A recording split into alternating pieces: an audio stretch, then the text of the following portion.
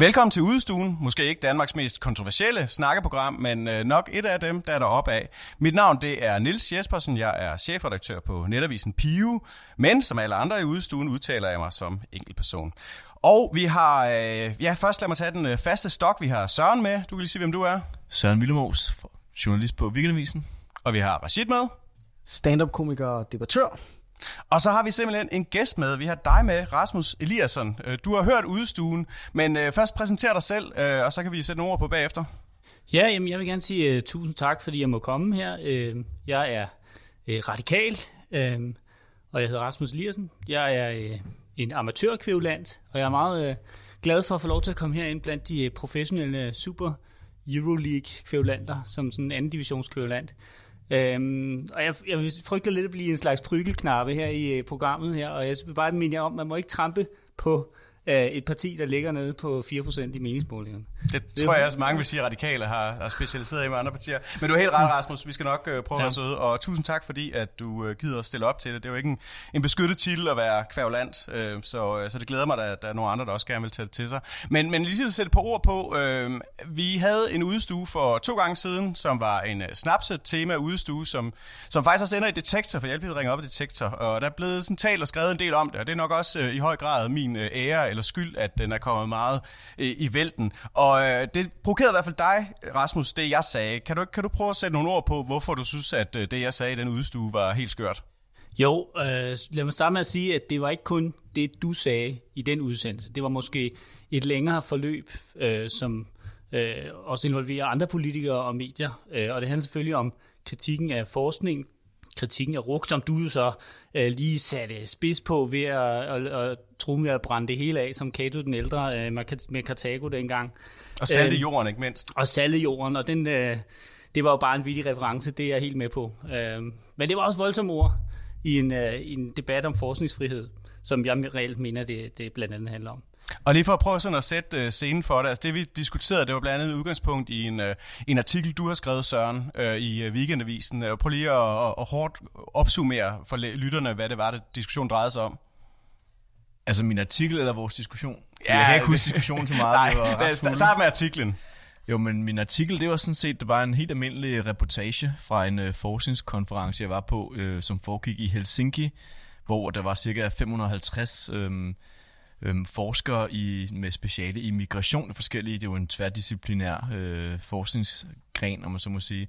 Så de kom fra øh, ja, hele Nordeuropa, og de brugte så en 3-4 dage øh, på at diskutere deres felt, og hvad der foregik der, fremlægge papers og abstracts, og lytte til keynote speakers der, ja, med diverse forelæsninger, og det var jeg så med, og den her skrev jeg en reportage fra, i Weekendavisen, som øh, siden har øhm, øh, ja, skabt ret meget røre, efter at særligt Henrik Dahl og Morten Messersmith læste den, og øh, sat gang i en øh, større politisk, øh, hvad man sige, en større politisk sag, hvor de øh, bad forskningsminister Ane Halsbo om at øh, svare på en række spørgsmål omkring det, de kaldte aktivistisk øh, forskning. Og siden da har den øh, rullet ret meget. Øh, det, jeg kan se det seneste nummer af magasinet Forskerforum har, er dedikeret til hele den her øhm, diskussion, og der går knap en uge, hvor der ikke er et indlæg fra nogen, der blander sig i debatten. Så ja. Og det, jeg fik sagt øh, lidt øh, firkantet, var, at jeg anser sådan det, jeg kalder den fejlslagende integration, øh, som for at være velfærdssamfundets allerstørste udfordring. Det er, at folk med anden etnisk baggrund øh, er underbeskæftiget i den grad, de har, at de er. Det er, at der ikke er tilstrækkeligt sådan, kulturelt øh, samhørighedsfællesskab øh, mellem gamle danskere og folk med mellemøstlig baggrund. Og det, at folk med mellemøstlig baggrund også er overset kriminalitetsstatistikkerne, ser jeg som noget, der, der sådan er velfærdsstatens store strukturelle udfordringer. Og min position er, at vi den her forskerverden, og nogen gør, mange gør, men hvis den ikke bidrager til at løse det her problem, så vil jeg altså hellere bruge pengene på at ansætte pædagoger til at lave sprogstimulering af, af unge med, med indvandrerbaggrund. Øhm, og, og det er sådan hårdt sat op, at øh, jeg kan ikke leve med den situation, der er nu, og det mener jeg ikke, Socialdemokratiet kan. Og, og stillet over for det valg, jamen, så vil jeg altså hellere brænde øh, ruk ned og salte i overført betydning, end jeg vil leve med situationen. Men, men ja, det provokerede dig, øh, ja, Rasmus, og, og, og nu skal jeg, du have ordet. Jeg synes jo allerede nu, vi begynder at komme ind i, øh, i essensen, ikke? fordi du starter med at tale hele integrationsindsatsen ned under gulvbrædderne. Og det så jeg også Mathias Tesfaye gøre her forleden, hvor han, hvor han nævnte, at øh, alt for mange øh, kvinder med muslimsk baggrund øh, gik derhjemme og passede børn. Og da man så gik ind og se, så på den Rockwool-rapport, så viste det sig, at der var en markant forskel i fra første generations muslimske kvinder til anden generations muslimske kvinder, hvor det næsten nærmede sig etnisk danske kvinder. Så, så allerede, du starter med at tale det ned allerede, øh, hele integrationsindsatsen. Og så er der også det her med, at det er som om det er forskernes skyld, øh, ligger der lidt en tone af, som om det er forskernes skyld, at det går dårligt med integration, og som om det er forskerne, der skal komme med nøglen til at løse nogle problemer, som er rigtig, rigtig svære at løse, ikke bare i øh, Danmark, men i alle mulige andre lande, og måske kan man ovenikøbet sige, at Danmark er et af de lande, hvor det rent, rent faktisk går bedre med integration. Men må jeg godt lige spørge, jeg kunne godt lige tænke mig at spørge Søren Villemose i forhold til den her artikel her. Øh, rubrikken, eller det øverste, der står, øh, så vidt jeg husker, så står der, hvem politiserer øh, i forskningen. Hvad, hvad tænker du om den rubrik, Søren Villemose? Jeg vil så sige, at det hedder en underrubrik. Øh, rubrikken, det var vidensproduktion. Og rubrik, det er journalistsprog for bare noget, der hedder en overskrift og en ja, underoverskrift. underoverskrift. Men det viser, at man er med i klubben, når man bruger sådan nogle ord. jo, men det var jo derfor, jeg var på konferencen. Det var jo for, fordi jeg, ja, for at undersøge, om, øh, om hele den her for, um, politisering af migrationsforskning var, altså om det er politikerne og Støjberg og de andre, der ligesom politiserer forskningen, Øhm, eller jeg, jeg om forskerne bare, selv bidrager at, til, eller om forskerne selv bidrager til den politisering. Og det var så derfor, jeg var på konferencen, og så, ja, hver gang jeg sådan stødt på, at øh, nogle forskere sagde noget, som jeg i hvert fald opfattede som meget eksplicit politisk, så var det spidsede jeg jo ører. Og jeg, jeg skal slet ikke gå, jeg synes uh, indholdet i artiklen, uh, synes jeg sådan set er, er udmærket. Uh, selvfølgelig skrevet, synes jeg, med, med din vinkel. Uh, og jeg, jeg jeg ved godt, at alle prøver selvfølgelig at være neutrale. Jeg, jeg, jeg synes ikke, den er helt neutral, men det er en udmærket artikel. Men, men overskriften eller rubrikken der, hvem, politis, hvem politiserer, det lyder lidt som en, en mission, man er ude på. Og når man så ser opspillet, eller optakten til hele til den artikel, nemlig at den her magt- og mulighed-rapport er blevet fjernet øh, fra øh, ministeriets hjemmeside, og øh, politikere øh, samstemmende har rakket den ned og, og kaldt det altså kaldt det decideret dårlig forskning, så kommer den artikel til at, at blive en del af det, der ligner en decideret kampagne mod øh, forskning i Danmark. Øh, sådan, sådan ser jeg det i hvert fald. Ja, men det er du velkommen til at se. Altså, det, var, altså, helt af, altså, det var jo den rapport fra RUK, Magt og Mulighed, som, øhm, som jeg øh, sådan set også var den første journalist til at, øh, at, at dække. Øhm, da, altså, det ved jeg ikke, der var også andre, der, der har nævnt den, men men jeg var jo, altså det her, det var den artikel, jeg lavede her i januar øh, og februar i Weekendavisen. Det var jo en, øh, fuld op på en anden artikel, jeg lavede tilbage i øh, efteråret 2019, som hed Støjbergs penge, som jo netop handlede om, hvad, hvad, der var, hvad Støjbergs penge var ind med. Og det var Støjberg, der havde afsat øh, et par millioner til, at der skulle øh, ske forskning i social kontrol, som havde det formål, at det skulle opkvalificere øh, fagpersoner, der arbejder med, med indvandrere og efterkommere øhm, sådan så de kunne modarbejde social kontrol. Det var det, der var helt formålet med den pulje. Og så, så var jeg så ude at se, men jeg, altså den gik så til RUK, øh, nogle forskere på RUK, og så var jeg så ude på en, øh, en, en, en konference, de holdt for at se, jamen, hvad brugte de så de penge på? Og, og der var det jo sådan noget, der mindede ret meget om det, jeg også oplevede i Helsinki. Det var i hvert fald ikke noget, der virkede til at sådan rigtigt at, øhm, at følge, altså jeg vil i hvert fald sige sådan, at jeg tror ikke, at de politikere, der havde afsat de penge, ville være super tilfredse med, hvordan de så det blive brugt. Og det, der i 2019, der var rapporten så ikke lavet endnu, den var ikke færdig. Og da den så kom, så var det sådan set også på weekendavisen med mig som redaktør, at det blev en stor sag, fordi at så var der en, som ikke havde fået, som også havde søgt pulje, men ikke havde fået penge, Sofie Daneskjold. Øh, hun skrev så en kronik, hvor hun gennemgik den her rapport, og var en, øh, enormt kritisk over for den, og, og påpegede flere øh, fejl og mangler, og hvad hun så som metodiske svagheder. Øh, og det var så det, der, der gjorde, at Mathias Tesfaye reagerede. Og, og Tesfaye reagerede så på øh, altså, hendes Fri Daneskjold, forsker i kontrols kritik, og det var der, han lagde ned i, i skrivebordskuffen og fjernede den fra hjemmesiden efter det. Så det er rigtigt, at den, det følger op på, på den sag, som jeg sådan set har, har kigget på siden 2019. Jeg ved ikke, om det jeg vil kalde det en kampagne. Jeg synes, det er et spændende emne. Men, men har du læst rapporten? Øh, jeg har ikke læst hele rapporten, nej, det har jeg ikke. Men jeg har heller ikke øh, kritiseret den, så øh, jeg kan ikke se, hvorfor jeg skulle læse den. Jeg har men, læst, men du, øh, vælger, at, du vælger at stole på, på de personer, der siger, at den er dårlig. Men det har jeg ikke sagt. Har du hørt mig sige, at det er en dårlig rapport? Jeg synes, det lyder som om, du, du gengiver noget kritik af den, øh, eller refererer til nogle personer, der så har kritiseret rapporten, som, som i mine øjne helt klart har en interesse i at kritisere den her rapport. Øh, hvad er deres interesser? Så du kender åbenbart deres interesser? Øh, altså, politikere har jo interesser, øh, og øh, Støjberg har jo haft en historie med at ikke bryde sig om forskellige typer af, af holdninger til, hvordan man gør op med social kontrol. Allerede i 2017 øh, prøvede hun jo at modsætte sig, at Exit-cirklen skulle have støtte, øh, selvom det var en del af et, bredt forlig, og hun blev nærmest tvunget til at måtte give penge til Sian Kankan og øh, øh, Exit-cirklen. Øh, fordi den her Exit-cirkel jo har et mere religiøst fokus på, hvordan øh, kvinder skal frigøres inden for, den, for de muslimske miljøer. Jamen, nu blander du tingene sammen, fordi at, øh, det var sådan set ikke det, der var tilfældet. Det var jo, kritikken kom fra Nasser Carter, og den kørte på, at øh, Exit-cirklen og det, der hedder den der moské, øh, kvindemoskeen, som er kørt af Shirin Kankan, ja. de er blander tingene sammen.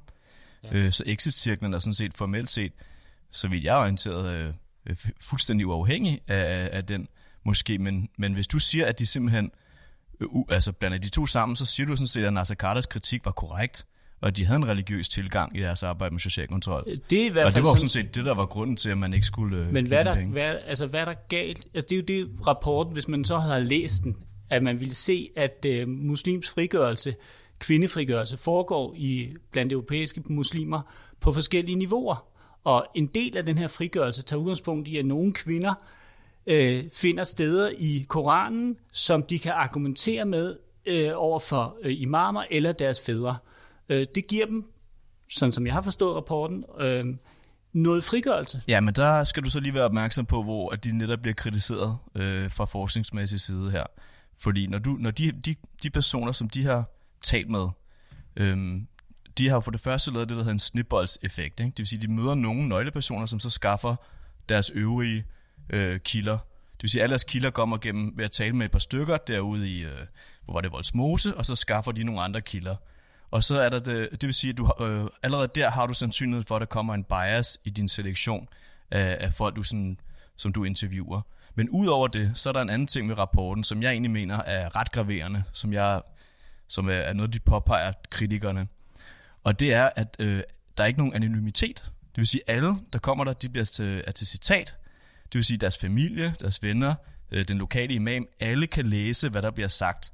Og allerede her vil jeg mene, uanset hvem der siger hvad i den her rapport, den her kritik vil jeg mene, sådan helt fagligt set, den er ret graverende.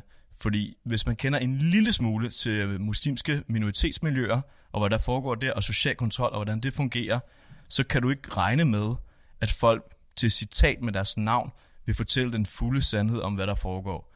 Øh, så, så, så når du siger de ting, du, øh, du siger nu, øh, og du tager rapporten for gode veje, så vil, øh, gode varer her, så vil jeg sige, så lyder du ret naiv. Øh, og, og du, min umiddelbare indtryk, nu kender jeg dig ikke, men det er, at du måske har en begrænset kontaktsfære med, med de her miljøer, hvis du kan tro, at, øh, at de her, som jeg ser dem sådan lidt smart, Abdul Hamid-agtige typer, som taler om, hvordan at øh, Koranen og islam faktisk er med til at øh, styrke dem i deres kamp mod social kontrol. Og det, hvilket i øvrigt godt kan være tilfældet. Altså, hvis du kender din koran godt, så kan du bruge argumenter imod øh, alle mulige religiøse osv. Øh, så det er ikke, fordi jeg fuldstændig afviser, det tilfældet. Men, øh, men jeg vil sige, det er kun en lille fli af den samlede problematik, man kommer til at belyse af. Ja, jeg vil også sige, at, at, at øh, det, den kritik, som Søren retter her, den, den vil jeg tilslutte mig fuldstændig. Øh, det, man får af, i den her rapport, det er jo selvfølgelig et udsnit af kvinder, der føler sig øh, styrket nok til at kunne gøre det. Der er ufattelig mange, og det er det, som social kontrol i bund og grund handler om. Det er, at man får fra, at, at rigtig mange kvinder ude i de her miljøer får frataget deres, øh, øh frataget deres autonomi, deres selvbestemmelse, deres egen forståelse af religionen, deres egen ønske om, hvad de vil være, og i stedet for bliver bedt om at tage andre menneskers ord for gode varer. Og herunder imamer, herunder onkler, fædre osv. Det her fænomen, det eksisterer. Det eksisterer, og det ved vi ikke særlig meget om, fordi der bliver ikke forsket særlig godt i det, og forsket særlig meget i det. Og det er det, der er hele humlen ved det. Vi kan alle sammen sidde og sige, ud fra sådan en eller anden gissning, jamen jeg føler, at det er så og så meget, og så videre. Jeg har stødt på kvinder som, og, og piger, som, som, har, som har stivnet af skræk det sekund, at de så deres øh, bror øh, køre forbi, fordi de stod og røg en cigaret.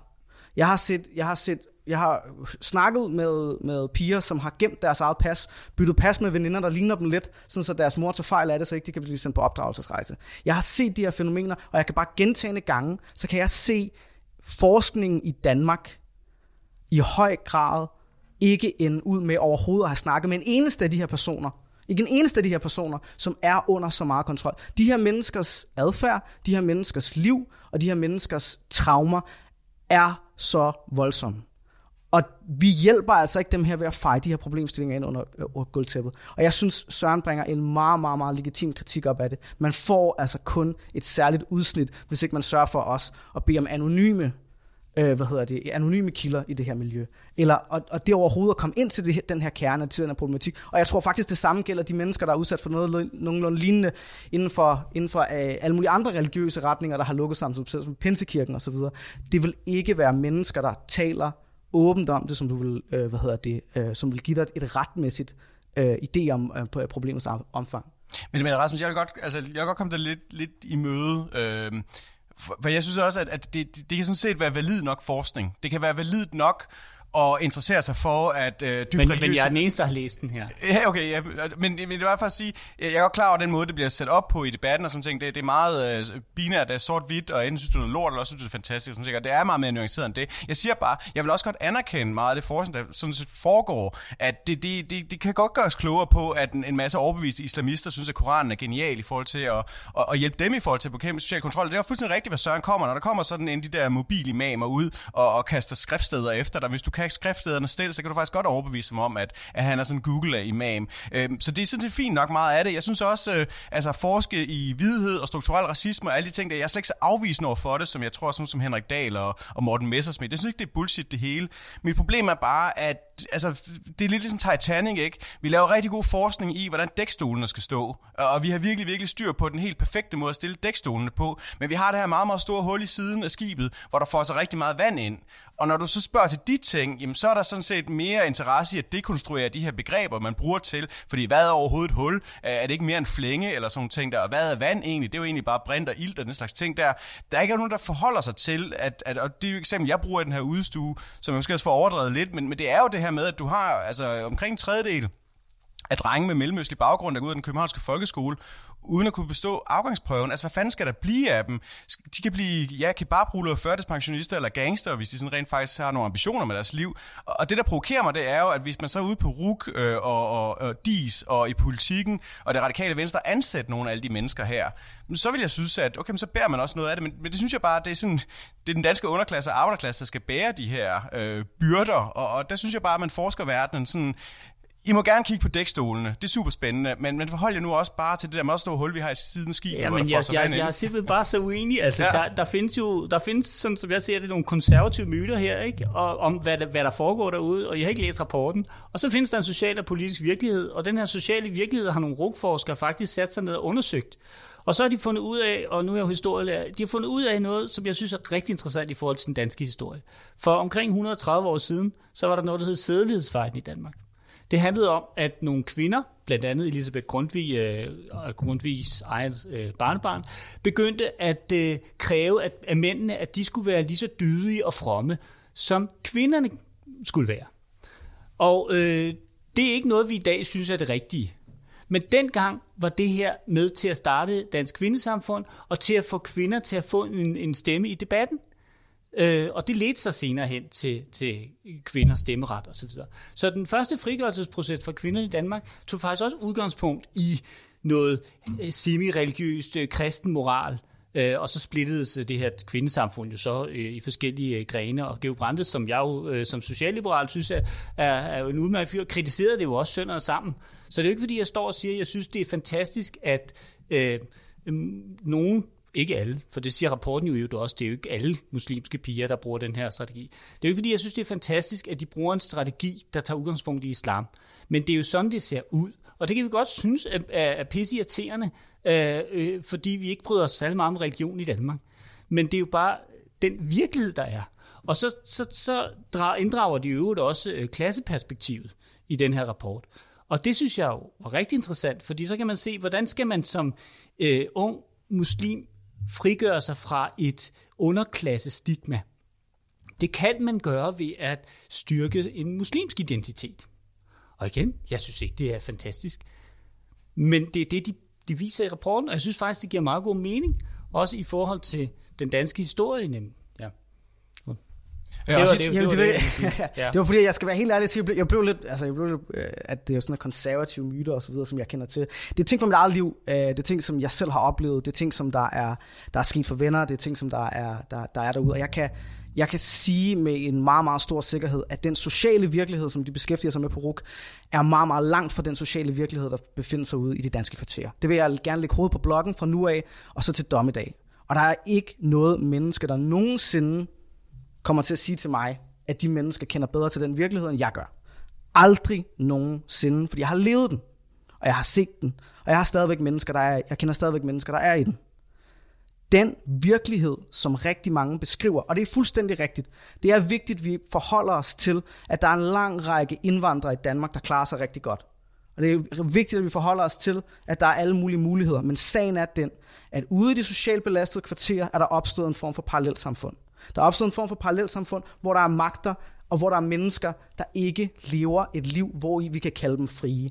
Og det gør de blandt andet af netværk af mennesker, der, der tekster og sms'er fra hinanden. Det har vi på skrift for den gang, der var æresdrab i Slagelse, hvor vi ikke bare havde få individer, der var med til det, men hvor vi så, at der var et netværk af mennesker, der hjalp til med, at en, at en kvinde blev slået ihjel. Gazella Khan tilbage i nullerne, ikke? Der bliver henrettet. Og det er jo ikke fordi og jeg bliver nødt til at bringe den her slags ting op, fordi vi er ikke nået særlig langt i at forstå de her ting. Og der er ikke nogen af de her rapporter, der kunne jo for eksempel have været, fordi man har en masse retsakter, så kunne man jo for eksempel i sin forskning have taget udgangspunkt i sådan en sag. Hvad er det, der sker? Hvordan, hvordan gør vi noget ved det? Er der en mulighed for at lave en form for stikkerlinje, så hvis man kender til noget, der skulle ske eller det her? Fordi vi mangler faktisk, tror jeg, stikkerlinjer i den her sag. For jeg tror faktisk rigtig ofte, der sidder nogen derude, der, der, der, der ved noget om nogle sager, og derudover så bliver jeg også nødt til at sige, jeg er også, altså nu er det ramadan og så videre, jeg er også muslim, jeg har også identitet som muslim. Det her det er ikke et opgør med islam for mig overhovedet. Det her det handler om en afart af islam, og en måde hvorpå, en måde hvorpå, at en, en gruppe bruger islam til at retfærdiggøre en voldsom kontrol. Det er sådan, jeg personligt ser det, og det vil jeg stå fast i. Men det ændrer ikke på, at vi bliver nødt til at have en forskning, vi bliver nødt til at have en forskning, der tør at sætte fokus på de her voldsomme, voldsomme ting ude i de socialt belastede områder af Danmark. Jeg vil også sige, jeg synes det der med at øh, pege på sædelighedsfejden i slutningen af 1800-tallet, at, øhm, at når man gør det, og man, og man så siger, at det der sker nu i Voldsmose med de her Asma Abdul Hamid-typer, det er ligesom det samme, der skete i Danmark i 18, slutningen af 1800-tallet, så er det jo den samme som at sige, at, at vi er på et udviklingstrin foran dem, og det altså er helt en idé om, at hvis det så bare på tid, så ender de, hvor vi er. Det anser jeg som en, faktisk en ekstrem nedladende øh, syn på, hvad der faktisk foregår. Øhm, der er ingen, der siger, at, øh, at, at, at islam kommer til at have den samme fremtid, som kristendom har haft. Altså, der er ingen, der, det, det er en idé om, at, at vi er på et eller andet udviklingstrin, øh, som er højere end deres, og før eller siden, så ender de op på vores, og, at, og islam øh, er naturlig og nærmest fatalistisk, vil, vil bevæge sig i den samme retning som kristendommen. Det mener jeg simpelthen ikke, at man overhovedet har noget belæg for at påstå. Det er, det er sådan en underlig... Um, ja, det er sådan en mærkelig sådan evolutionær syn på kultur og revolution, som jeg egentlig synes er, faktisk er rigtig forældet. Den minder faktisk om, om det, et religionssyn, man faktisk havde i slutningen af 1800-tallet på andre religioner. Der er sådan lidt uh, hegeliansk, uh, måske en smule marxisme ind over det, uh, Rasmus. Jamen, jeg ved slet ikke, Er hvorfor jeg skal hegelianer? høre på alle de stormænd her. Altså, det, det, jeg, ja, det er måske lidt. Jeg, jeg tror faktisk på, på, på, at det går fremad, øh, hvis vi i øvrigt lytter til hinanden og forstår hinanden. Jeg vil gerne understrege igen, at jeg er ikke kommet her for at forsvare øh, religion. Jeg er Geo Brandes øh, fan, øh, og han forsvarede bestemt ikke nogen religioner. Er det, man skal at sige? Jeg tror Øh, faktisk, så, at... så, så jeg, og jeg forsvarer heller ikke- og jeg har i øvrigt også set som øh, gymnasielærer mange af de ting, du nævner, Rashid.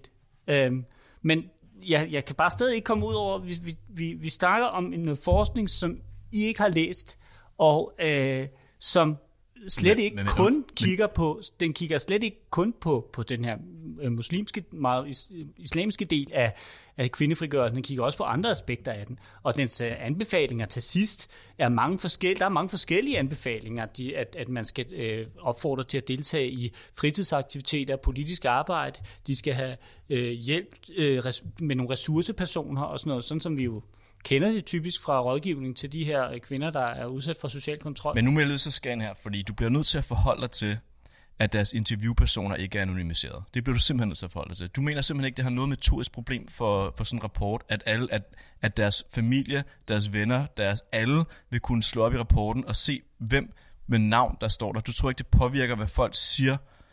Altså, så Du- vidt jeg altså- kan se, at de kun nævnt med fornavn. Øhm, det er deres fulde navn, der er registreret i rapporten. Selv hvis det er der, med fornavn, så er det jo ret Ja. let at øh, regne ud, hvem det er, når du har at gøre med så små Ja. miljøer som Slagelse og Voldsmose. Du synes ikke, det er noget problem? altså, det, den der det kritik har jeg ikke, har jeg ikke set, og, og jeg synes også, det Nå, er en lille del af... Nej, fordi, der, fordi jeg vil sige, at det her det er en afgørende del. Rent metodisk, hvis du har at gøre med social kontrol. Du bliver nødt til at analysere dine kilder. Ja, ja, Fordi ja hvis det du er jeg helt med på. hvis du nogensinde har haft en jeg almindelig dig, samtale med- faktisk læst den rapport. Ja, jamen det har du sagt Ja. nogle 100.000 Ja, og det synes jeg nemlig er rigtig, rigtig vigtigt, fordi Jo. vi har faktisk nogle forskere, der bliver udsat for et politisk Jamen, pres. det, det er meget et fint, men, men nu, nu, nu, nu stiller jeg dig et spørgsmål om, Ja. om det metodiske. Ja, Du mener ikke, at det er et problem? Du mener, at, at, at jeg ved ikke, hvor mange øh, muslimske elever du Ja. har i dit job, men øh, altså min erfaring med at tale med, Ja. med, med, med unge muslimer, det er, at der er, altså man hører to forskellige ting, når øh, kameraet er tændt, og når mikrofonen er tændt, og når det Ja. er slukket. Og når alle folk kigger, og det er offentligt, Ja. så er det en fortælling og en side af sagen, man hører, og Mm. når det er privat, og det er bag ved det hele, så er det noget andet. så de taler ikke sandt, dem der taler Prøv, nu, skal du ikke, nu skal du ikke beskylde mig for, Nej, at jeg mener, er dig, at muslimer lyver. mig for, at... Nej, jeg siger at, det, du, at alle folk, alle folk taler forskelligt øh, privat og offentligt.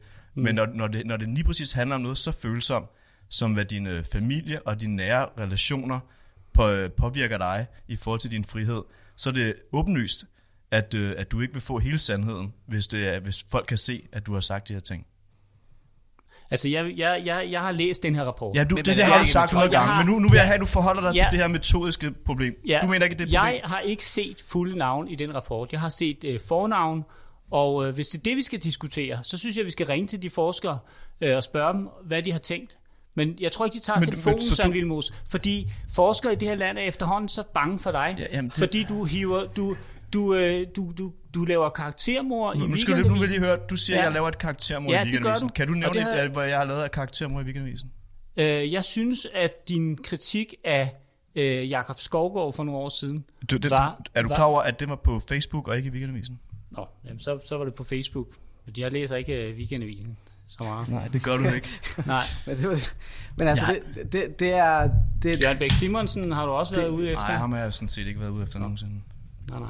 Men det er, altså, hvis, hvis forskerne, det, det- hvis de er, er bange for Vilmos, og, og hvis, hvis alle de her effekter af, at man skriver ting online, er så slemme, så tænker jeg også, at de skal begynde at tage social kontrol lidt mere seriøst, fordi Ja, men det det er nogle gør de for pokker. De har, de har nævnt det 160 Men- gange i den her rapport, har men- nævnt negativ social kontrol, men de har ikke taget udgangspunkt, og det vil jeg gerne De har sige. ikke nævnt det 160 gange. Nej, så er det islam 160 fordi gange. jeg har faktisk øh, lige social- søgt, søgt på social kontrol i en rapport, og det bliver, det bliver ikke nævnt særlig ofte. Det bliver mest nævnt indirekte. Og, det, Ja, det bliver nævnt, øh, så, er det- så er det islam, de nævner 160 og de, gange. nævnt, de, de siger det som såkaldt øh, social kontrol. Øh, og så ja. taler de faktisk også om genopdragelsesrejser, som de faktisk mener kan være... Øh, altså de nævner det under øh, social mobilitet som en måde til, at man kan blive frigjort på. Det, som folk normalt forstår som genopdragelsesrejser, Ja. det kan faktisk også være en vej til øh, frigørelse ifølge den rapport, som du synes er så god. Jeg synes, den er udmærket, og jeg synes, den øh, giver os et indblik i nogle miljøer, jeg ikke var klar over, sådan fandtes. Synes, og synes jeg du også, at genopdragelsesrejser kan være en vej Ja, til det synes jeg helt sikkert. Ja. Wow, ja, det er klart. Som Geo Brandes fans, så synes jeg virkelig genopdragelse. Nej, det- det- De var nævner det det, at de interviewer en egyptisk, øh, en kvinde med egyptisk baggrund, som blev sendt på genopdragelsesrejse af sine forældre. Gerne- jeg og hun synes- synes selv, det var en rigtig god tur, og så konkluderer de, at fordi det nu, faktisk nu, skal Nu være... handler det meget om, øh, om, om nogle andre ting, synes jeg. Jeg synes, at, at jeg vil gerne lige øh, indskyde en stor ros til de to forskere for den her rapport. For hold kæft, hvor skal de udsættes for meget. Både fra politikere og også fra Søren Vilmos, der ikke har læst rapporten, men bliver ved med at hejle den igennem med alle mulige eksempler, som jeg har svært ved at, og, og det må jeg sige, ærligt tro på. Øh, og det synes jeg må være, være hårdt for dem at have siddet og lavet et, som jeg ser det, ganske udmærket stykke arbejde. Det er godt nok en kvalitativ rapport. Det vil sige, at der er selvfølgelig nogle metodiske problemer, når man interviewer enkeltpersoner, fordi du ikke kan få øh, de samme oplysninger, som hvis du laver kvantitativ rapport. Men jeg synes, den giver et godt indblik. Og så øh, kan vi diskutere den rapport. Ja, det kan vi da godt. Og vi kan da godt diskutere om, hvor meget islam skal fylde i den her kvindefrigørelse. Øh, som jeg sagde før, jeg synes ikke, at det er særlig godt. Men det er det, der er virkeligheden. Men hvis, Og- ikke- Rasmus, øh, du, du, du, du kan med historie ligesom mig, ikke? Ja. Ja, altså vi, vi, vi siger jo, at der er jo ikke nogen dårlige kilder. Og, og det er jo fordi, at en kilde er altid god til noget. Ja. Altså den her rapport er givetvis fremragende til at give et indblik i, hvordan ressourcestærke øh, minoritetsdanskere med muslimsk baggrund kan bruge øh, islam til at øh, ja, have en status ud af det. Ikke? Jo. Og det er, en, det er en rigtig god kilde til det. Kvinder, især kvinder, Ja, og det er præcis, den, den præcis. fremhæver også kønsforskellen, ja. og den er meget tydelig omkring, at det er et hårdere liv for de muslimske kvinder, end det er for mænd. Men, men, men det jeg synes måske, det er, og det er den givetvis en fremragende kilde til, men jeg tror, at det som man fra politisk hold måske godt kunne tænke sig nogle bud på, men det er de her unge kvinder, som Rashid beskriver, som skal kigge sig over skulderen efter, når der kører en taxa forbi, når de ryger en cigaret og sådan mm. ting. Og det synes jeg bare ikke rigtigt måske svarer på. Nej, og, og kan, kan, kan vi mødes? Jamen, men kan vi, fordi det er nok det der med kritik er, igen, jeg, jeg synes egentlig, det er legitimt det der. Øh, det er fint nok at lave det. Øh, der er nogle metodiske udfordringer og sådan ting der, ikke? Men, men det, det gør os da klogere på en eller anden side, men det gør os klogere på noget, vi måske godt lidt vidste i forvejen, at folk, som er overbeviste islamister, de synes, at islam er rigtig, rigtig klogt. Jeg tror men, ikke, de, men jeg savner jeg, jeg, bare... synes, synes ikke, du skal kalde dem islamister. Okay, så konservative muslimer i hvert Ja, fald. det kan du godt kalde dem. Ja, vil, ja. Øh, men jeg savner bare den anden forskning. Jeg savner netop Ja. forskning i hende, der gerne vil have lov at ryge en cigaret, eller Ja. kysse på sin kæreste i fred, mm. uden at skulle kigge sig over skuldrene efter, at man kører taxa forbi. Ikke? Ja. Og, og kan du følge vores kritik i, at, at Ja. det er rigtig godt, at der bliver forsket i de ting her, men Ja. vi savner måske nogle forskere, der interesserer sig for det, jeg kalder hullen i side, siden af skibet. Vi kan også kalde det nogle andre dækstole på den anden side af dækket, eller et eller andet. Men der bliver måske bare forsket mere i, ting, som er majoritetssamfundets skyld, øh, hvor øh, muslimer føler sig mobbet og truet af majoritetssamfundet, og lidt mindre i, hvordan det for eksempel er at være underklasse Jo, med muslimsk ja, baggrund det- i et ja. udsat boligområde. Ja, og du vil lige sige, at rapporten specifikt nævner, at den øh, vælger øh, at, at fokusere på sådan, øh, andre grupper. Men er du så også lidt enig med vores kritik, at, der, at vi mangler nogle Nu, svar nu, på... nu, siger den jo, nu siger den jo, at den ikke har valgt at tage ud på krisecentrene. Men hvorfor er ikke det? Det er da gak. Det er, det er da et valg, det er da et metodisk det er valg. da fucked up valg, altså. At tage, altså prøv høre, jeg er da ikke Nej, nej, interesseret i, nej, hvad en masse jamen- mennesker, der klarer sig godt, øh, hvordan de Nej, har det. det, Altså, det jeg vil nogen, løse der nogle sociale det, det, problemer. det, er, det er, det, altså, igen, der må jeg bare sige, at det er fordi, du tager udgangspunkt i, at der er rigtig mange øh, kvinder i de her miljøer, der er udsat for en ekstrem social kontrol. Og det er der ikke. Jamen, øh, det er der givetvis. Men, Givetvis. men, Ja, Nå, men her, okay, du sagde det, der, det jeg sagde Ja. ja. var korrekt. Jeg vil sige, Ja. ja. jeg har lige læst igen, side 123 i rapporten. Ja. Og der står der følgende. Fysisk mobilitet kan være en strategi til at undvige social kontrol.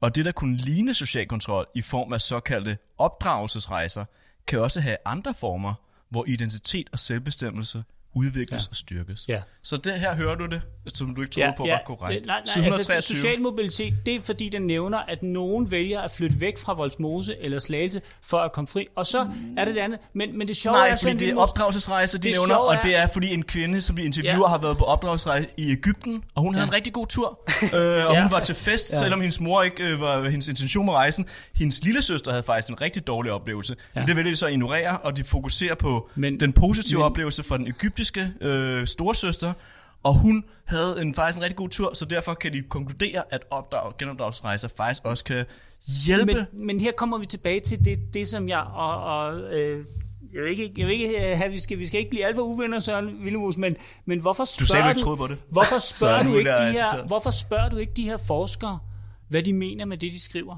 De vil jo ikke stille op til uh, diskussioner. Hvorfor tror I, at de ikke vil stille Men op? de vil ikke stille op med Ali Aminali, for eksempel. Jeg skal Hvorfor tror spørge I- dem, Nej, men men, og hvis de ikke vil øh, svare, så er det min skyld. Fordi at de er... Øh, de, de stoler ikke på, at det, de siger, bliver gengivet rigtigt. Kom, Jalla, kom herhen. Undskyld, men hvad, er, kan du komme med et eksempel på, at jeg har gengivet nogle af de her forskere ukorrekte? Jamen, det, der, er, der, er der en diskussion om, i, øh, i, den, i forbindelse med gen- genopdragelsesrejser, der har den her phd forsker fra Norge i hvert fald sagt, at det var i hvert fald ikke det, hun mente øh, i den artikel, du skrev fra om Ja, vidensproduktion. det, det vil Og- jeg så sige, at det er jeg uenig med.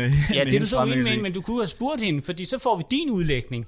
Øh, og, og, og, og du har så ikke læst rapporten her, men du, du kommer Jeg har læst stor del af den. Jeg har ikke læst Ja, den hele, så det nej. er svarer jeg. Så- Jeg har ikke læst den hele. Nej, men så synes jeg, at du skulle spørge de forskere, hvad de mener, sådan så vi som samfund kan blive klogere på de her problemer. Men nu skal du sige, at jeg skal spørge dem, men i hvilken ja. forbindelse er det, du mener, jeg skulle have spurgt dem? For det her det er ikke noget, jeg... Altså, mener du, at jeg har lavet en eller anden artikel, hvor de her indgår, hvor jeg skulle have talt med dem, eller hvad? du, du laver en rubrik, der hedder Hvem politiserer forskning? I forlængelse af, at Det den er her magt- og er mulighed-rapport er blevet det- trukket tilbage. Så det er en del af den samlede historie. Ja, men du, skriver må nødt til at forstå journalistiske genre her. Det er en reportage, Ja. hvor jeg tager afsted hen og rapporterer, hvad der bliver sagt. I sådan nogle forbindelser går man ikke rundt og laver interviews med folk. Man hører, hvad de siger, og så citerer man dem og så læser man måske, hvad de, hvad de skriver og fremlægger, og så refererer man det. Det er sådan, reportage fungerer. Jeg vil også sige, inden uh, Rashid får ordet, øh, jeg har øh, en finger med i forskellige medieplatforme, og jeg vil garantere en times fuldstændig uredigeret, der folk kommer til ord, og de kan få lov at tale færdigt og så videre, hvis nogle af de her mennesker vil stille op. Og jeg vil også, min, eller hellere sige, min gode kammerat Ali Aminali, der har podcasten Alis Integrationsland, har gentagende gange efterlyst nogen, der vil stille op til ting, og det er fair nok, hvis man synes, at mig er Søren og træls at have noget med at gøre. Det er der måske også en sandhed i. Men det er svært at sige om Ali, så Øh, hvis nogen sidder derude og gerne vil til ord og gerne vil have lov at tale ud, så stil op i Ali Minalis podcast. Men det er lidt en catch-22, ikke? Altså, jeg skal spørge dem, men de vil ikke, hvorfor de vil ikke tale med mig, siger du for? Det er nok min egen skyld. men jeg, jeg, jeg, synes også, at det er sådan lidt vildt, hvor meget, altså sådan, altså jeg vil faktisk gerne, jeg er sådan lidt jaloux på både øh, Nils og Søren, for den vægt, I har i, de, de, altså sådan, i Mediedanmark, ikke? Altså Søren har skrevet en reportage. White privilege. Der. Ja, men, altså det, det, det, må være det. Han har skrevet en reportage, og den er, hvad den er. Hvor lige pludselig bliver han holdt, altså bliver han holdt ansvarlig for en kæmpe kampagne imod, øh, i, øh, hvad hedder det, imod øh, den her, de her forskning. Det er jo ikke ligefrem det, og, og Nils også, det, hans citater bliver gennemgået på den her fuldstændig vanvittige måde. Sagen er den, at jeg faktisk synes, at det er de vigtigste ting, der under det podcast, vi går og snakker om. Det var Kasper Grunemann, der sagde, vi mangler den her forskning. Vi står og mangler den, og vi mangler den rigtig, rigtig aktivt. Det er altså, det er det, jeg gerne vil høre Hvorfor med på. læser oh, lad mig lige, lad mig lige, lad mig, lad mig lige. Undskyld, men Kasper Grunemann læser, undskyld, nu bliver jeg stoppe her. Kasper Grunemann læser alle rapporter, om det, fordi han er politisk øh, rådgiver for SF på integrations- og indvejningsområdet, og han går gennemgår alt det der meget, meget nøje. Jeg synes ikke, han skal kalde men, forsker for gøjlerkloven. ja, men, men, men ved du hvad, det, det, Ja, det er vi er faktisk, men, men prøv at, hvis jeg skal, okay, nu begynder det at blive sådan lidt personligt, så men, men, men husk nu bare, du, du, der er altså mennesker herude, der lever den her virkelighed. Der er mennesker herude, jeg er en af dem, du ved, der har set og oplevet Tænk nogle af de her ting. forskerne, Rashid. Tænk på. jeg er ked af det. Nej, nej, nej, det der, det er simpelthen ikke. Fordi jeg har også set de der ting, som Ej, du prøv, har... prøv, at- prøv, prøv, Ja. prøv, ja. nu, nu, nu tager vi... Jeg har nok ikke set lige så meget, som du har. Men jeg har skam også set og oplevet øh, det, du fortæller med, med nogen, der holder øje med nogle andre på en skole. Og, Men det er jo den der virkelighed, vi mangler at få beskrevet. Altså, din virkelighed er godt beskrevet af forskningsverdenen. Vores virkelighed synes vi mangler at blive beskrevet. Men altså, okay, jeg, jeg, jeg kan virkelig ikke tage... Jeg, jeg, men altså, jeg har virkelig svært ved at tage det her seriøst. Øhm, jeg skal fortælle en radikal, øh, at, øh, at øh, der måske er lidt forskel på, hvad en ung brun mand har oplevet, og hvad en øh, Nej, middelaldrende nej, nej, mand. nej, nej, nej. Det- Det, det- det, er simpelthen ikke det, jeg siger. Jeg står Nå, og snakker om den her rapport, som Altså, du snakker også lige om mig før, men det er også... Men igen, Jeg siger bare, at vi har oplevet. Jeg har set det, og du har helt sikkert... Jeg tror på, at du har oplevet det øh, markant mere, end jeg har, de her ting. Okay, det er jeg glad Så, for, men du det, jeg vil bare ikke have, øh, det skal ikke se ud som om, at jeg negligerer problemerne, der eksisterer. Okay, Det synes jeg, jeg taler om en rapport, der så, der så kigger på nogle forskellige aspekter af det her problem. så vil jeg gerne Og vi sige... kan godt lave forskning Men- også i det andet, men jeg synes bare, at... Men det er øh, det, vi mangler. Det er det, vi mangler, og det, det, det, det, det, er... Og så er vi glade. Og så er vi, ja, ja, præcis. Det handler altså ikke om, vi- jeg, jeg tror altså, og jeg har altså ikke noget øh, konservativt, eller hvad, hvad det nu end var, øh, øh, sådan ting. Det eneste, jeg ønsker, det er, at der kommer noget hjælp, og det jeg faktisk allermest ønsker, det er, at vi begynder at kigge på de psykologiske efterslæb, der er på social kontrol. Jeg kender rigtig mange, der nu er kommet op i 20'erne og 30'erne, og faktisk fysiologisk er væk fra den sociale kontrol, har giftet sig med en, en, en person, som ikke udøver social kontrol, men stadigvæk lever i en form for paranoia. Det her, det kender jeg rigtig meget til, og det er helt inden så nært, og jeg har ikke lyst til at gå i dybden med det. Jeg har ikke lyst til at skulle stå og forsvare, hvad det er, jeg kender til, og jeg har ikke lyst til at uddybe mere. I kan læse de ting, jeg har skrevet for politikken, men det er sådan, at det her det er et kæmpe mangel, og det er det, jeg håber på. Og jeg synes personligt, og det kan godt være, at jeg er fucked up, det kan godt være, at jeg har mine traumer op i røven, og jeg derfor ikke har været, været god til at, at, at, at sådan kunne skilte fra tingene, men jeg bliver sur og bliver vred, når jeg ser noget forskning, der ikke tager det her problem seriøst. Fordi mens at den her gruppe måske kan bruge Koranen, så er der en helt anden fare for de her kvinder. Og det er dem, jeg mener, vi kommer til at lade i stikken. Det kan ikke være rigtigt, at der ikke snart bliver forsket, der ikke snart bliver lagt nogle konkrete ting på bordet, så vi kan få, få, få bund i den hårde del af de her problemstillinger, for de her kvinder har det af helvede til. Godt. Jamen, øh, skål øh, her i studiet. Øh, vi står Jeg og nyder os øl. Det, det, og, nej, øh, jeg også, gør ikke det ramadan. Jeg, Rashid gør jeg, det passer faktisk endda, øh, vil jeg sige, sætte min journalistiske integritet på at sige. Øh, men, øh, og glædelig ramadan til alle jer, der lytter derude.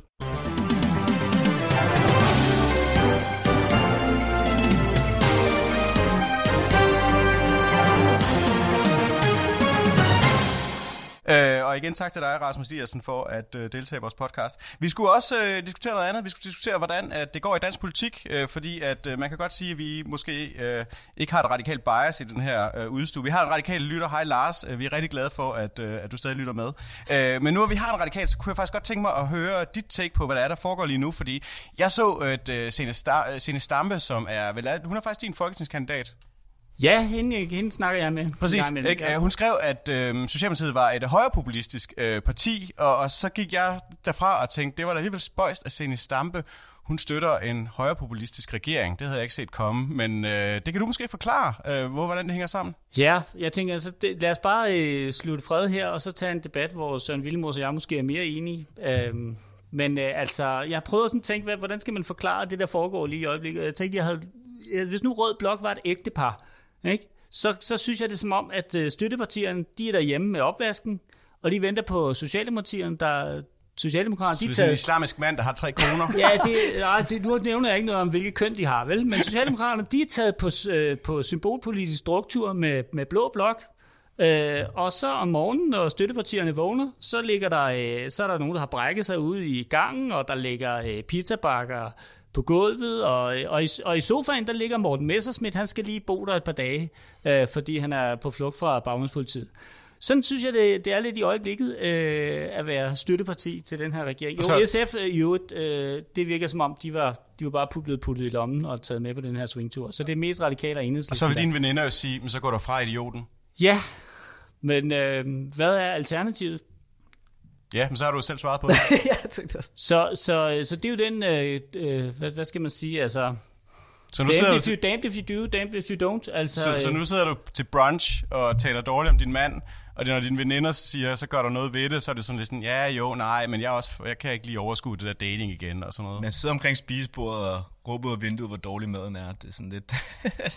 Ja, ja men altså, øh, det, alligevel bliver det nødt til at blive sagt, fordi det er jo ikke kun, altså, altså jeg, jeg, jeg, jeg gider ikke til at have sådan sådan en snak om, om, om, hvad højre populisme er og sådan noget. Så, øh, helt, helt konkret synes jeg, at de her, den her lov, der er kommet nu om statsborgerskab, øh, kommer i forlængelse af det- den her sag med, med de her børn og deres mødre nede i de her lejre, og det her med, at man nu vil, som det eneste europæiske land, meget bekendt, øh, ud, udvise øh, syriske flygtninge. Ikke? Så det er bare sådan inden for et par uger, hvor det er nogle ting, der går rigtig ondt på det radikale. Øh, og enhedslisten også. Og jeg tror også SF, øh, hvis ikke det er, fordi de er til møde med pædagogerne. Så, så øh, det gør rigtig, rigtig ondt.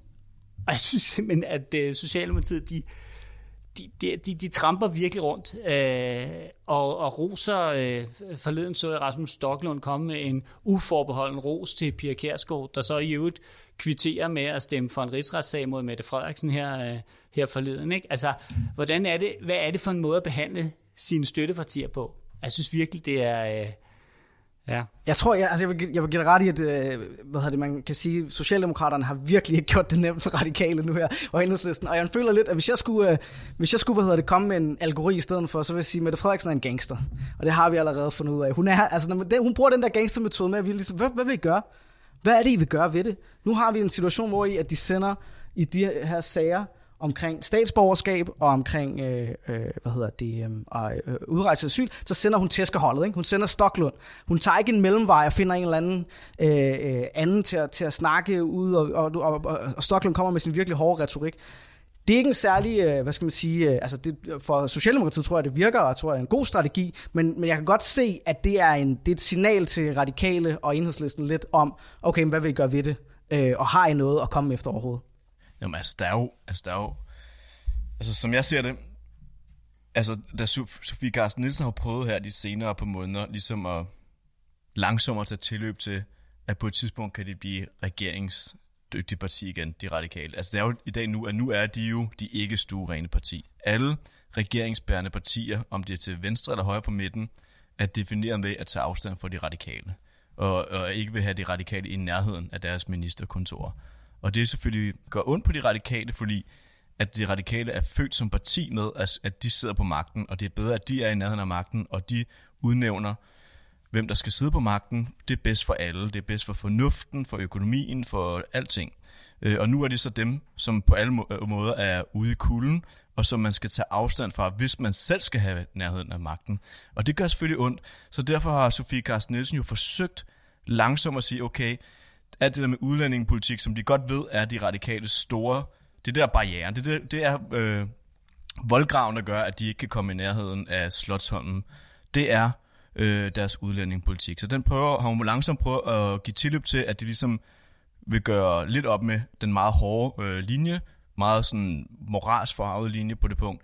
Men der, som jeg ser det, øh, har de senere uger vist, at det kommer ikke til at ske. I hvert fald ikke de næste mange år. Øh, fordi hver gang der er et øh, udlændingepolitisk emne, som kommer op, så kan man se, at de radikale, de er låst fast i den rolle, som de har haft altså siden 80'erne, og som de stadig har, og som Morten Østergaard skaffede deres gode valg på sidst.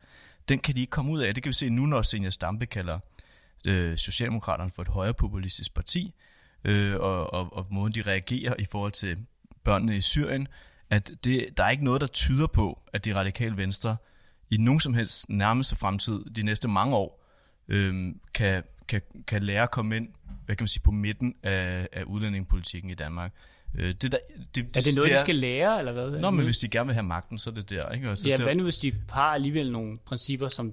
Jamen, så får I ikke magten, og det må I så nej, selv Nej, nej, så må man jo leve med det. Øh, og men det, er det, det meget ja, men det, det, det, det, må I selv om. Det er helt, ja. helt op til jer selv. Hvis I hellere vil have jeres principper end en, en magt, det er fint. Det, er bare, ja. det går bare imod det radikale historiske øh, position i dansk politik, som er, er, er ændret, og jeg, jeg kan ikke se, at den kommer til at ændre sig på noget som helst tidspunkt i de næste mange år, sådan som det er nu. Ja.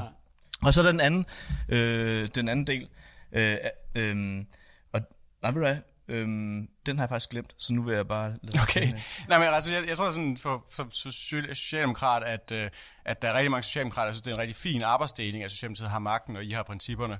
Øh, at, man, at det må sådan set godt foregå i lang tid. Men jeg, jeg vil godt måske komme lidt i møde ved, jeg vil så sige, at jeg, også, jeg synes også, det er nødvendigt, men uheldigt, det der foregår lige nu. Fordi det danske velfærdssamfund er også skabt i en koalition imellem arbejderklassen og, kan man sige, sådan den, den progressive middelklasse. Og, vi, og det, har man jo, set... Øh, vi har jo arbejdet sammen i, uh, som partier ja, præcis, i 100 i år, år, og så ja, ja. bliver vi bare uh, svinet til. Ja, altså. Undskyld, men I har nu, altså, nu ja. Radikal har nu også skiftet uh, side ja, en del ja, gange ja, i 100 ja, år, ja, ja, så jeg kan ikke rigtig se, hvad det er. Der er, altså. grund, der er nok en grund til, Søren Vilmos, at uh, Socialdemokratiet aldrig har lavet regering med, med, jo, der var en gang med Venstre, men det holdt sgu ikke særlig godt. Men, der er nok en grund til, at det Men det holdt jo heller ikke sammen med jer. Altså, det synes jeg jo også er ret afgørende, det her, at Torning-regeringen blev ikke genvalgt. Altså, det, det synes jeg også bare sætter, at Socialdemokratiet i en svær situation, fordi det I beder Socialdemokratiet om, er jo sådan set at stå op hver eneste morgen, og så sparke deres kernevælger lige i ansigtet. At øh, sige, at de skal arbejde til de bliver 120 år, og der er ikke noget med nedslidning, det gider vi ikke høre noget om. Øh, Industri Danmark skal afskaffes, det skal bare være kreativ klasse det hele.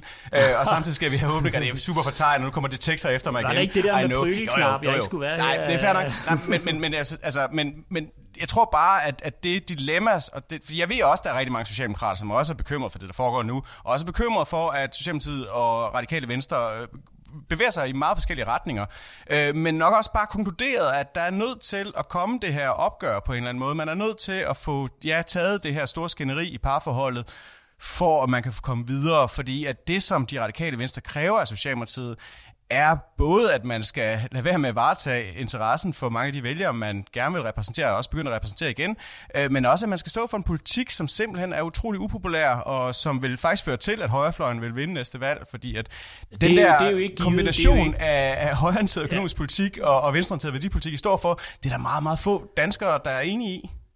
Altså, jeg vil starte med at sige, at det her med, at, øh, at de radikale venstre skulle øh, være faldet tilbage til øh, nullerne og Elsbeth Gerner Nielsen med, med, med tørklæde og sådan noget, det vil jeg simpelthen afvise. Det radikale venstre har været med til rigtig mange stramninger det sidste stykke tid, og, øh, og, og har ligesom accepteret, at hvis Socialdemokraterne skal vinde et valg, så skal de nok være på udlændingepolitikken og blå bjarne. Øh, og det har vi været med til. Jeg forstår ikke behovet for at skrue tvinge yder, yderligere. Jeg kan simpelthen ikke se, er I ikke trætte af at vinde? altså, altså, hvor meget, hvor meget er det, er det, det, virker, det virker næsten sådan bevidst. Det er meget, det, det er meget sjovt, du siger det, fordi når man går tilbage... Helt, er det jeres altså, nye slogan? når, man, når man går tilbage til Torning-regeringen, så, var, altså, så vidste jeg, at hun, hun, hun blev ved med at skrue. Altså hver eneste gang, hun har fået noget, så skulle, hun alligevel lige, så skulle vi alligevel også lige skære lidt på den. Der skulle ja. lige lidt mere øh, blå økonomisk politik. Vi skulle lige sørge for, at det stod i regeringsgrundlaget, at vi kommer til at videreføre de borgerlige øh, økonomiske politik. Altså den, det, i, i virkeligheden så er det bare den ekstra skrue, I, I, I gav der, kommer jo bare nu tilbage til jer. Altså, det var men, den måde, I bliver behandlet på nu, er måden, hvis det er behandlet øh, Torning-regeringen på. Ja. Men er det ikke også, Niels, uh, helt ærligt, så havde vi den her effekt også... Og det gør ondt. Absolut. Hvis nu vi også lige skal komme, komme de radikale lidt i møde, så Niels, tror du ikke også, at der var den her effekt, vi så med Ben Benson og Anders Fogh? Det var Anders Fogh, der kørte og trumlede tingene igennem, og øh, støttepartiet, øh, øh hvad hedder det, vel, vel, vel at mærke et regeringsbærende parti dengang, men, men, men de fik ikke rigtig noget. De blev ikke set på noget, og de blev i meningsmålingerne trumlet, og det, var, det, gjorde, det gjorde Blå Blok generelt svagere. Kan vi ikke se den samme effekt ved, at Socialdemokraterne på den her tid, på, på den her måde, sådan trumler, og, og, og sådan nærmest virker som om, at, det, at de demonstrativt trumler med øh, deres ufattelig mange stemmer. Men der vil jeg gerne lige sige her noget, fordi der synes jeg, at man læser dansk politik forkert. Fordi jeg, jeg synes, der er en øh, meget klar rollefordeling, der hedder, at, øh, at udlændingepolitikken der, der er en, øh, en stor, bred folkelig flertal omkring den, og den øh, bliver lavet øh, med nogle partier, som repræsenterer omkring 70-80% af befolkningen. Øh, og de ligesom, det kører de. Og, det, og, og, og aftalen er så, at de sidste 20%, de radikale venstre, enhedslisten, det er måske faktisk endnu mindre, det er fri grøn, måske det er kun, hvor mange er det 15 procent eller sådan noget tilbage. De, de, de får ikke lov at bestemme her, fordi de er en lille mindretal, og de mener noget, det kan godt være, at de mener det rigtig, rigtig meget, men det er bare ikke det samme, som det store brede flertal mener. Så det får de ikke nogen indflydelse på. Men alle mulige andre ting kan de radikale jo, og enhedslisten får de jo lov til at få indflydelse på. De skal bare ikke være udlændingepolitikken. Øh, og, og, så, og jeg, når jeg ser dansk politik nu, så burde, men, vil jeg egentlig mene, at de radikale burde være glade, fordi nu har vi jo faktisk gjort op med blokpolitik. Der er jo ikke blokpolitik nu. Når det kommer til udlændingepolitikken, så sker den hen over midten. Når det kommer til øh, alle mulige andre øh, ting, øhm, så foregår den øh, på, altså, til venstre for midten med støttepartierne. Der er ikke det blokpolitik, som de radikale klagede over i, i, i 20 år, at det øh, eksisterede dansk politik. Men, men det kan jo selvfølgelig også godt være, at når de klagede over blokpolitik, så var det bare fordi, at det var de radikale ikke fik lov at bestemme. Øh, det ved jeg altså ikke, om det var det. det jeg, var, jeg, tror, jeg, jeg, jeg tror, din analyse er lidt farvet af, af dit, øh, jeg ved ikke, hvad jeg skal kalde det. Du kan virkelig ikke lide de radikale. Fair nok. Øh, jeg er ikke enig med dig i, at det skulle være et øh, bredt flertal i befolkningen, der nødvendigvis er enig i alle de stramninger, der er kommet. Jeg siger ikke alting, men nej, det store nej, nej, lad mig lige tale ud. Øh, jeg tror, at det er de 5-10% svingvælgere, som er vigtige i den her. Og det er svingvælgerne i, i dag, det er jo dem, der vil have en stram udlændingepolitik. så det her med et bredt flertal, jeg tror at ikke, der er et bredt flertal for øh, hvis man kigger ned i detaljerne på den her statsborgerskabslov. Nej, ikke måske og, og, og øh, måske er der lige nu, måske er der ikke, jeg har ikke set nogen meningsmålinger, men det er også sådan lidt mærkeligt det der med, at vi skulle betragte en meningsmåling som gudsgiven. Ting kan ændre sig, øh, politik kan ændre sig, og hvis Mette Frederiksen, og der vil jeg gerne lige sige, Niels Jespersen, jeg synes, du skulle opfordre Mette Frederiksen til at holde en tale og sige, kære, hun har ekstrem indflydelse. Hun kan virkelig påvirke folks holdninger, så de, de vender på en tallerken og siger, ved I hvad, de der øh, danske... Jeg sætter lige på medhør. ja, de danske... Mette Frederiksen, jeg, her får du talen. Øh, de der danske statsborgere og deres børn nede i øh, de syriske lejre, jeg foragter det valg, de har truffet. De øh, er i mine øjne landsforrædere, øh, men vi har også nogle forpligtelser over for det internationale samfund, og hvis vi skal sende udviste øh, kriminelle til andre lande, så må vi også øh, håndtere dem, der er dansk statsborger, og tage dem hjem igen, og det er også øh, ikke særlig pænt over for kurderne. Bum, så har han holdt talen, og så er vi ud over det problem, og så kan man måske komme radikalt en lille smule møde. Jeg bliver, nødt til, jeg bliver nødt til at smide den her og sige, det kan ikke være til diskussion, at der er et bredt folkeligt flertal bag en, en meget stram udlændingepolitik. Det har der været siden 80'erne frem til i dag, og der er ikke nogen som helst tegn i måne eller sol på, at det ikke skulle være tilfældet. Der, jeg, jeg troede det, faktisk, det, at radikale siger, respekterede det, sådan det, ah, fakta stop, stop, og viden ej, og fornuft du, og, ah, og alt sådan noget, men ja, nu det, at du, at du nej, vil have sådan en fantasiverden. Altså, altså, nu det, taler jeg om de stramninger, der kom sidste uge, Nå, for de radikale har jo, det er jo ikke bare det, det, det, er jo, det er jo helt generelt, altså, fordi der kommer jo hele tiden en ny situation, hvor man må forholde sig til de her ting og, ge- og, og genoverveje. Det er jo ikke, udlændingepolitikken vil jo aldrig bare stå stille, og så er det sådan på plads, og så kommer man ikke til at skulle øh, rokke sig mere. Det var det, man troede i fra 2011 til 15, at, at så kunne man bare lade den stå stille. Men sådan, øh, udlændingepolitikken er jo en kontinuerlig performativ ting, hvor man udadtil skal vise omverdenen, at man er rigtig ond. Øh, det er jo sådan, man skal, øh, det, det er den eneste måde, at man kan sørge for, at asyl ansøger vælger andre lande. Og det lyder enormt ulækkert og kynisk, men det er faktisk sådan, dansk udlændingepolitik er. Og det vil de radikale jo ikke det kan de jo ikke være med på. Det, den, det, altså, det, det kan I måske, hvis I kan acceptere jeg den synes, del af spillet, jeg, jeg, hvor I løbende skal være onde. Med, har jo været med til, til meget af det her. Men det var jo ikke, fordi fra 11 til 15, så kom der jo ikke nogen udlændingepolitiske løbende stramninger, og der så man jo asyltallene Det er vel ikke stige helt med en rigtigt, det faktisk Altså- det vigtigste, vil jeg sige. Hvad var det for at en? den, at man øh, tog familiesamføring fra syrerne. Altså det, der gør, at du Fra udviser 11 til syrer... 15? Ja, det er, du, det er jo det reelle paradigmeskifte. Det sker jo faktisk med radikale stemmer. Øh, lovgrundlaget for at begynde at udvise øh, syriske flygtninge til Damaskus i dag, det er jo noget, de radikale selv har stemt for. Det er også derfor, det er lidt sjovt, at de er så det vrede under over Thorning-regeringen, Ja, det er under Thorning, ja. Øh, så det, det reelle paradigmeskifte skete med radikale stemmer. Men asyltallene fra 11 til 15, de når at blive nærmest tredoblet. Ja, ja. 100% Ja, enig. Øh, det, det, som jeg vil sige omkring det, det var også, at, at, at jeg, jeg mener nemlig her, at spørgsmålet er det der med, at det, der har virket for Socialdemokraterne tidligere med at trumle, måske er man gået lidt for langt i den her sammenhæng, netop fordi man er ude i en situation, øh, jeg tror, den med statsborgerskab, den tror jeg går rent hjem, fordi der, hører, der er det eneste folk hører, det er noget med at udvise kriminelle udlændinge, og det er vi alle sammen enige om, men den omkring, omkring Syrien, der er måske Øh, og jeg tror faktisk måske, der er en enighed, men jeg tror, at, at, det sentiment, den følelse, der bliver fremlagt med den her meget, øh, hvad skal man sige, øh, storiske, øh, hårdslående Rasmus Stocklund, som er virkelig fin. Jeg tror rent kommunikativt, rent sådan, hvad skal man sige, så skulle man have i højere grad have haft sendt en, en, en, en af de blødere socialdemokrater ud for at køre den hjem med, med hvad hedder det, øh, øh, med børnene i Syrien. Jeg føler, det er en, måske anslår en, en, en, en, en bølge, hvor det, man kan være ude og give lidt, for, altså give lidt for meget ind til det der narrativ om, at Socialdemokraterne er et, er et ondt højrefløjsparti. Rent sådan, hvad skal man sige, strategisk. Øh, fordi jeg tror egentlig, at, at, at fejlslutningen er, at fordi man vil have hård indvandrerpolitik og udlændingepolitik, så vil man ikke nødvendigvis også have en, hvad skal man sige, en, det, man, det folk vil opfatte som en hjerteløs politik. Og jeg ved ikke, om det er en hjerteløs politik, men det kan i hvert fald godt føles lidt hjerteløst, det Rasmus Stocklund har gang i. Så taler vi nu om tilbagesendelser af Syrien, eller taler vi om børn i Syrien og hjemtagelse? Øh, vi sender hjem, hjemsendelsen. Øh, Hjem, ja, okay, hjemtag, ja. Ja, hjemsendelsen. Ja, hjemsendelsen, hvor vi blandt andet har de der eksempler med Aya, ikke? Ja, Nå ja, altså, ja, og, og det er jo, ja. ja, det er jo det, det, det okay, ja, lad mig, det er måske, måske, måske, også bedre at have, fordi det er jo både den med, med, med børn og så videre, men, men det der er med det, det er, lige nu der sidder man jo med nogle eksempler med for eksempel en, en pige som Aya, som man jo øh, kan være sympatisk indstillet over for, som virker som om hun kan være truet, når hun kommer tilbage til Syrien, og hun skal sendes hjem. Og der virker det bare, øh, øh, det virker lidt hårdt måske at tage fat i den der, hvor at Rasmus Stocklunds svar, et af de svar var, God aften Danmark. Jeg synes egentlig, at, øh, at, at I burde tage nogle folk, der er blevet udsat for vold af syre. Og jeg kan godt, altså, han har jo egentlig et argument i, at man ofte bruger de der øh, cry-historier i, i sådan noget sted som God aften Danmark, og at man måske ikke sætter det hele i perspektiv, men det virker også lidt som om, det er en del af spillet.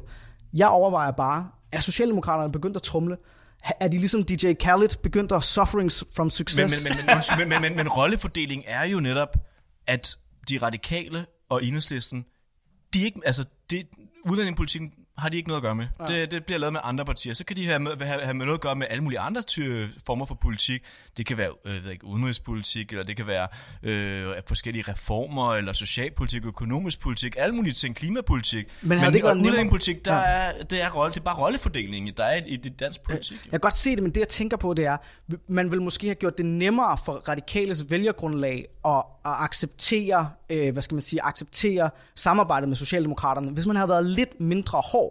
Det er sådan set det eneste, jeg prøver at påpege. Jeg kan godt se, altså, jeg, Det er altså lidt med at sukker på en lort, det der er det, ikke? Altså, sådan, måske, altså, måske, det det jeg ved det, jeg spørger, ja, det var et reelt spørgsmål. Ja, altså, det, det var et reelt Jamen, spørgsmål, jeg- fordi jeg- jeg er nysgerrig omkring, På, på, på vegne af Altså, Der er jo noget konkret, reel lovgivning, og der, der er nogle konkrete konsekvenser for nogle øh, rigtige mennesker, øh, som bor og lever i Danmark, og, og mange af dem er jo ude i vores hverdag, og derfor er det ikke bare, øh, det er ikke bare øh, middelhavsflygtninge, der drukner i både, som, som vi i øvrigt, øh, og der vil jeg give Søren Vilmos ikke ret, det er vi jo lidt ligeglade med, øh, virker det som om i debatten heroppe. Ikke? Det er, øh, Undskyld, øh, hvad er vi ligeglade med? jamen, vi er i vores debat her i, i Danmark, der, der håndterer vi måske ikke rigtig så meget, at Altså, det er en ret stor pointe i mig og Mikkel Andersens bog, at ja.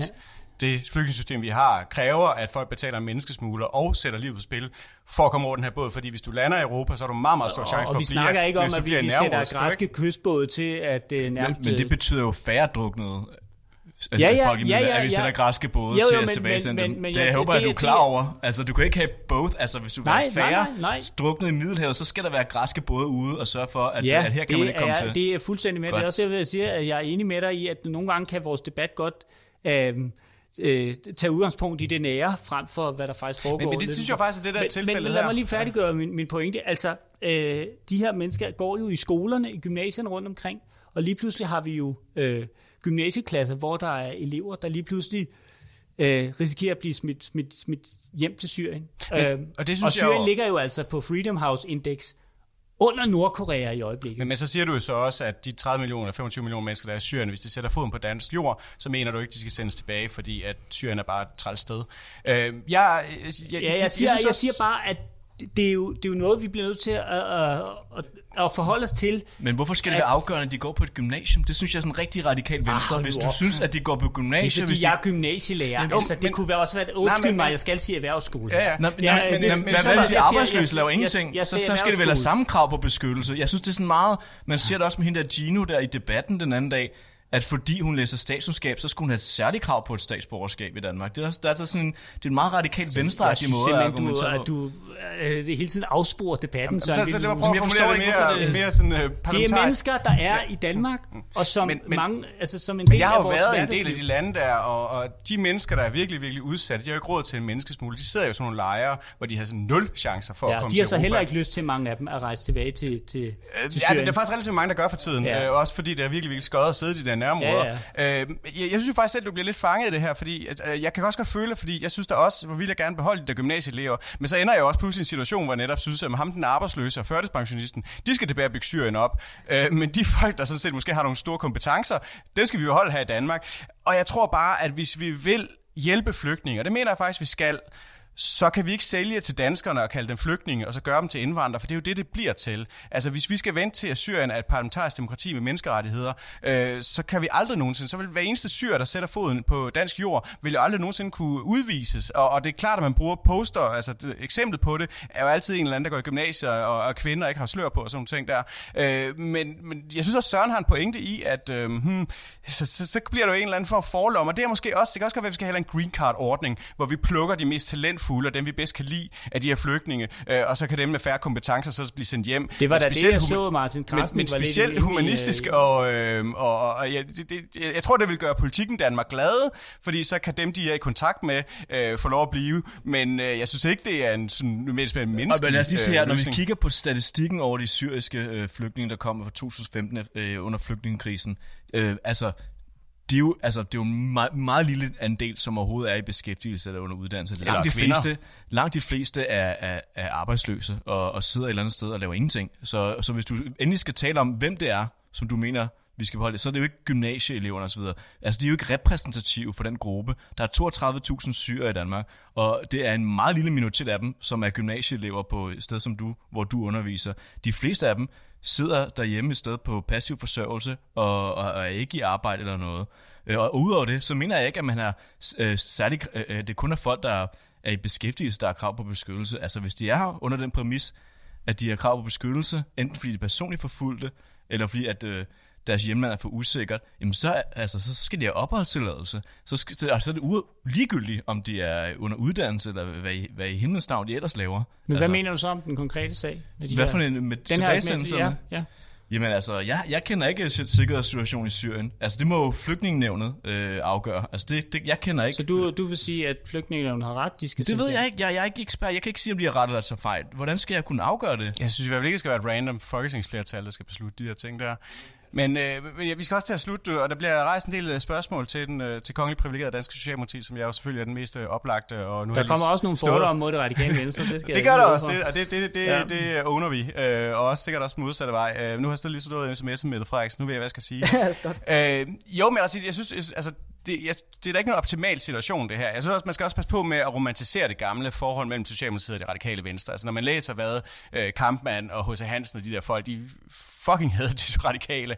Øh, de ville ikke drikke øl med hinanden. Nej, det er det, hvad jeg skal sige. Ikke? Så det er altså ikke noget nyt, det her med, at det er sådan hund og kat forhold, og at når man har haft øh, muligheden for, altså man, for at tale pænt, så kalder man det underlægge de andre mandaternes logik, men det betyder jo basically, at man bare kører dem over. Og, og det har man gjort, og der er ingen tvivl om, at der er der også altså, en, en vilje i det radikale venstre nu, en hævngærighed, øh, og også ud over, øh, hvad... Øh, hvad der måske er, øh, altså, giver strengt taget logisk mening, til at klaske til Socialdemokraterne, til at tage hævn over de ting her. Ikke? Og det er da, synes jeg, ikke en, en optimal situation. Men jeg tror bare, man er, som, som Søren også er inde på, man er altså bare i en situation, hvor, hvor det, der sker, det er jo, det er jo med til, altså, grunden til, at Mette Frederiksen er så stærk, den koalition, hun har bygget, at hun kan gå øh, øh, vildt på strandhugst blandt borgerlige vælgere, blandt nationale vælgere, og samtidig så kan venstrefløjens vælgere ikke gå nogen steder hen. Altså, øh, I er jo med til at fastholde øh, de her mennesker, fordi det øjeblik, at de radikale venstre vil gå ud og sige, nu støtter vi øh, Søren e- Jakob Ellemann eller sådan ting der, ikke? Altså, så kan I sige, så ryger I under spærgrænsen, fordi at, at der er jo ingen af jeres vælgere,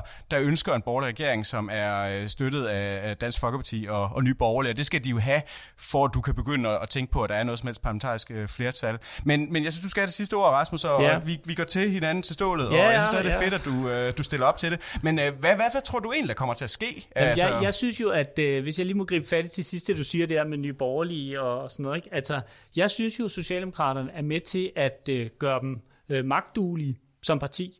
Øh, sådan så en... Øh, De har da lige punkteret Dansk Folkeparti. Ja, ja, ja, ja, men I har, I har inviteret dem med ind, I, øh, I, I, I bruger dem øh, som øh, parlamentarisk flertal i nogle sager, og det betyder, at Lars Lykkes, Meget mindre end Lykke gjorde.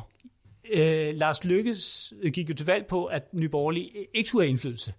Øh, han prøvede at søge det, det brede samarbejde hen over midten, ikke? Men, men I vil, ja, ja, og det kan vi diskutere, om, øh, og det, vil, det, det, jeg siger bare, hvad han siger, ikke? Fordi så har jeg en Men- bro men- i men uh, San Francisco, jeg altså, gerne vil det- sælge til dig, hvis du Det er tror, sjovt, Lars men jeg tror, de Så- radikale havde det der princip om, at det handler ikke om, hvem man samarbejder Ja. med, men hvad man Ja, samarbejder om. Hvis jeg lige må, øh, i stedet for Søren Vilmos fordom om de radikale. Undskyld, det øh, er et, et citat fra en radikal så, leder. Så, øh, så, så vil jeg godt slutte af med, med at sige den her, øh, at, man, at man går over mod, mod, mod højrefløjen på mange punkter. Ikke? Også i forhold til den her anti-identitetspolitik, som jeg i øvrigt mener fylder langt mere end identitetspolitik.